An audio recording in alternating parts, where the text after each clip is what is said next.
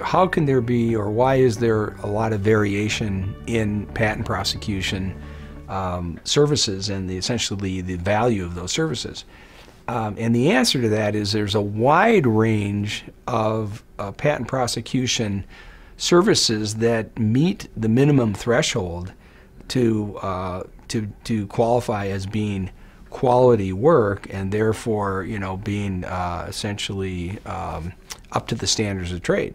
Um, most, many applicants do not understand this, however. They think that a patent is a patent and that if, if an attorney gets a patent, uh, to draft, there, you know, nine out of ten attorneys are going to draft the same patent or prosecute the patent in the same way. Uh, the truth, truth be told, is that um, one attorney may uh, put in much less effort and get a patent issued that on its face appears to an inventor to be a, a good patent, but in fact uh, the attorney has gotten far less coverage for that invention than the, the uh, inventor was entitled to.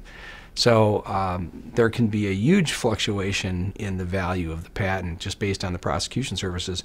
All uh, or all levels of which would you know meet the minimum standards of the trade, and also would appear oftentimes to the inventor to all be equally a good effort. In fact, it's sometimes possible that a very high quality patent may appear to be poorly drafted to the uninitiated inventor who's looking for uh, you know, the exact same wording that the inventor may use to describe his technology, which may not be the best vocabulary to use to get a, a very valuable patent.